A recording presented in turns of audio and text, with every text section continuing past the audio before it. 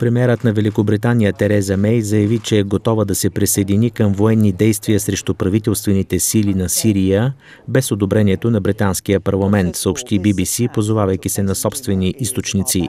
Мей мотивира решението си с това, че иска да предотврати повторна химическа атака в арабската страна.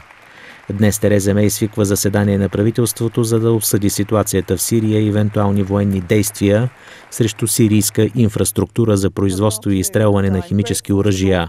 Пресата на острова пише, че тя е дала нареждане на британските подводници да се предвижат към бреговете на Сирия на достатъчно разстояние за нанасене на ракетни удари. Самолетите на кралските военновъздушни сили също се намират в бойна готовност за евентуален удар. Същевременно лидерът на лейбаристите Джереми Корбин призова Тереза Мей да вземе мерки, така че всички страни в конфликта в Сирия да се върнат на масата за преговорите.